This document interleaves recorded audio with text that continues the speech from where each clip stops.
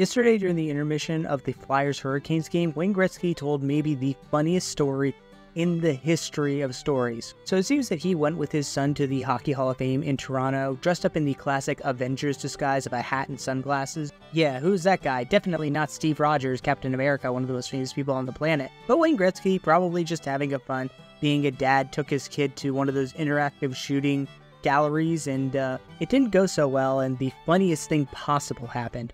I'm 0 for 1, 0 for 2, 0 for 3. and the young kid who was running the line says, uh, Sir, if you move your hand down the stick a little farther. I, I, was so mad at him, I threw my hat off and I told my son, We're running out of here. just pour out one for that kid, whoever they were running that booth, realizing that you just gave advice to the greatest hockey player who has ever walked to the planet.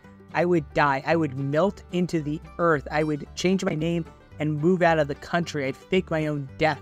On the plus side, though, it does seem that Gretz is taking this all in stride and having a good laugh at it, and I'm sure his son was giving him shit the entire ride home, talking about, oh, you're the greatest hockey player that ever existed, huh, Dad?